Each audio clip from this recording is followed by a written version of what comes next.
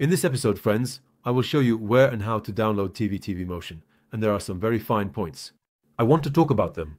You go to Google and type in Arma Motion, then write TV TV Motion download. From the section that appears, click on the top Download TV TV Motion text. That's enough, friends. When you get here, friends, look, it says Download Launcher. There is a launcher. Just like Steam, Epic Games also has its own launcher, or starter menu. That's why I will show it. Now, let me translate it into Turkish. First you register, friends. Let's go step by step. From the very beginning, you register from the top right section. You register with your own email address. You have completed the registration. After completing the registration, you download the launcher from here, friends.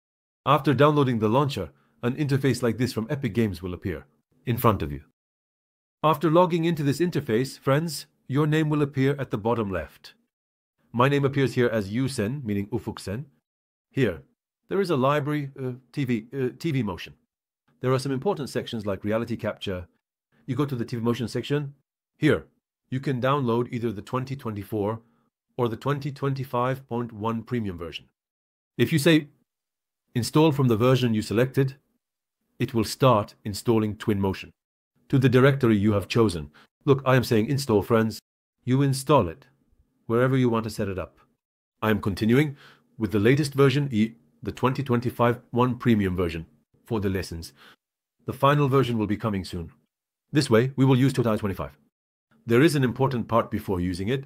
What is this part? Friends, in the system requirements section, our graphics card needs to have at least 6 gigabytes of memory and be a card that resembles the ray tracing technology we call ray tracing. What does this mean? It means AMD. Graphics cards do not exhibit sufficient performance for Twinmotion, especially in video cards, friends. They show high performance in render engines like Twinmotion or Unlink, D5 or Enscape. Therefore, when you are buying a graphics card or a laptop, make sure it is RTX.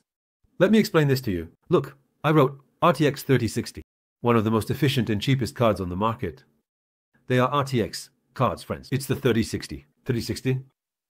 Graphics cards are also found in laptops. It is referred to as RTX for ray tracing. The name ray tracing is also the name of the system we use for TV TV motion, friends. That's why this part is important. If you want to use TV TV motion, make sure your graphics card is an NVIDIA RTX. Friends, that's how it is. If you are building a PC, you should get Asus's lowest 3060 graphics card. It goes as 3060, 3070, 3080. The 4 series also goes as 4060, 4070, 4080, friends. That's why this part is important. When you download these, we will encounter the Epic Launcher, which is an interface we call a launcher, meaning you run it through this interface. You can download RL Engine from the Products section, Examples section, News section, and Library section here. The RL Engine is located here. If you want, Twinmotion is also available here, and our task is to run it through Twinmotion. As soon as we click Start, Twinmotion runs below. When we scroll down correctly, Twinmotion shows in which vehicles and sectors it operates. Friends, there are plugins here. From the Download Plugin page, you can download the plugin for whichever program it belongs to. If you are using SketchUp, you can also download SketchUp. You can download it from here by clicking Download.